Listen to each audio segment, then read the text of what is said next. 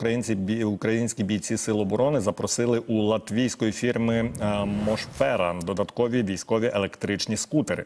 Представник компанії розповів змі, що їхні скутери отримали дуже позитивні відгуки від українських бійців, і загалом замовлення становить майже 70 одиниць. А генеральний директор е, Мосфера Клавс Асманіс розповів, що нині запит розглядає латвійський уряд, проте його компанія готова виконати замовлення відновлення.